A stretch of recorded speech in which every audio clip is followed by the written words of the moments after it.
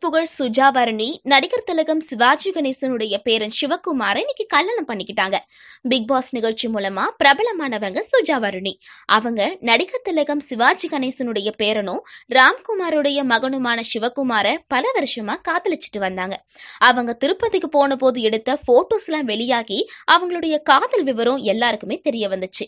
சிவகுமார் சுஜாவரனுடைய நிச்சயதார்த்தம் நேற்று நடந்த நிலையில சென்னையில இருக்க கிரவுண்ட் பிளாசாவில் இன்னைக்கு அவங்களுடைய திருமணம் நல்லபடியா நடந்துச்சு. சுஜாவர்ணி தன்னுடைய வாழ்க்கையில வந்தது தான் செஞ்ச பாக்கியுன்னு சிவகுமார் சொல்லியிருக்கிறது குறிப்பிடத்தக்கது.